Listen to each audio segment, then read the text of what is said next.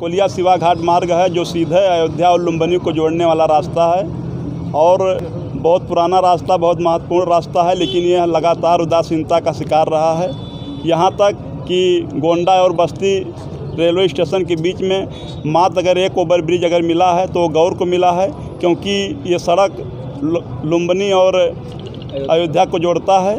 लेकिन ये जो ओवर ब्रिज है आज हाथी का दांत साबित हो रहा है, क्योंकि उसके आगे पीछे का जो रोड है, वो बड़े बड़े गड्ढे में इस समय तब्दील हो गया है, जिसको लेकर क्षेत्र में बहुत ही बहुत आक्रोश है।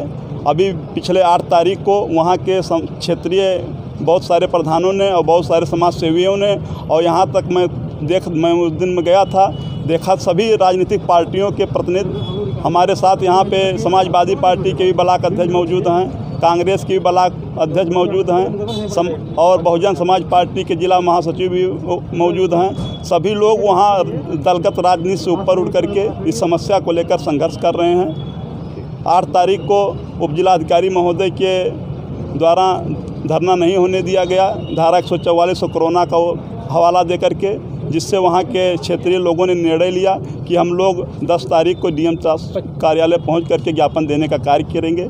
आज हम लोग उसी समस्या को लेकर के जिलाधिकारी कार्यालय पर आए हैं और अपना ज्ञापन हम लोग मुख्यमंत्री जी को संबोधित देने का कार्य किए हैं।